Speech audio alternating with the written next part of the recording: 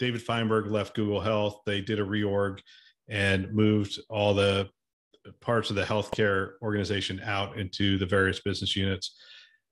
Apple moved back from a thing they called Health Habit, an app called Health Habit, which was supporting their internal employees through a partnership with AC Wellness. I didn't read too much into that because that that was like just in their campus in Cupertino, and it just never seemed like they were going to scale that. And then some some healthcare dignitaries weighed in on this. Uh, a couple former guests of the show, Sherri Douville, she had a post on LinkedIn that went viral.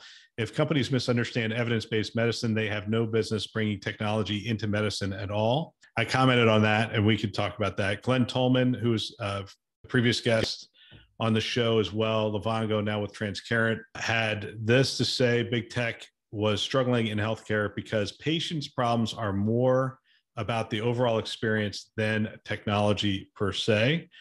And then Dr. Nick Patel, Chief Digital Officer at Prisma Health, uh, had this to say about Apple scaling back. The multi trillion dollar healthcare industry is a hard nut to crack. There are too many complex variables to solve, and healthcare tech space is already too crowded, which is trying to solve for a tiny part of the overall tangled mess. So that's that's what some people are starting to weigh in here. There's more to the article. I, I might hit some of it a little later, but I'm I'm curious as you hear those comments and and yeah this whole thing. What's your initial reaction to is healthcare too hard for big tech? Should I should I start with who knew healthcare was so complex? Quote. Who oh. knew healthcare was this hard? Yeah, I'll I mean, my mom knew healthcare was this hard. Yeah, everybody I'll knows healthcare is this hard.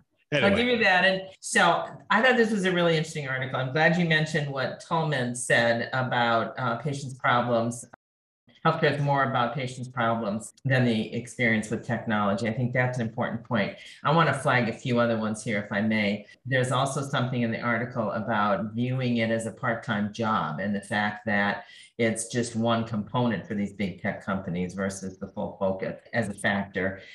There's also something here about uh, big tech firms wanting to solve the healthcare problems by themselves. And you already quoted Nick Patel. He offers another suggestion.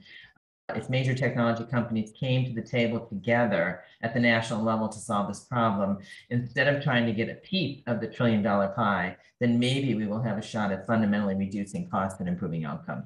I think that's an important point too. It's like it takes a village. It's complex and it takes a village to solve.